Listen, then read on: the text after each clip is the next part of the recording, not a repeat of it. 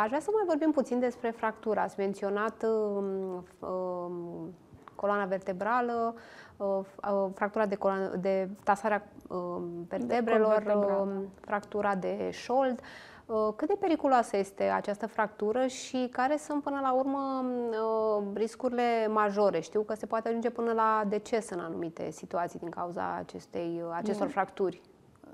Riscul, în primul rând, ele sunt foarte dureroase.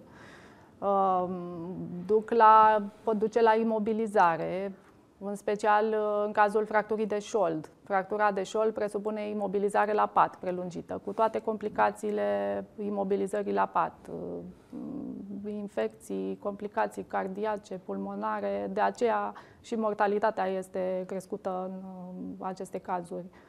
Este un motiv pentru care e bine să nu ajungem acolo și să tratăm osteoporoza înainte de apariția fracturilor. Un alt uh, fenomen extrem de îngrijorător la nivel global este obezitatea și uh, în România tot mai multe persoane se confruntă cu aceasta. Cât de importantă este menținerea unei greutăți optime toată viața și cât de grav este, cât de grav este excesul ponderal uh, corelat cu riscul de fractură?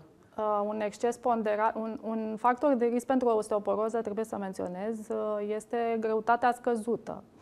Uh, un indice, un indice de masă corporală sub 20 uh, predispune la osteoporoză, dar nici uh, extrema nu este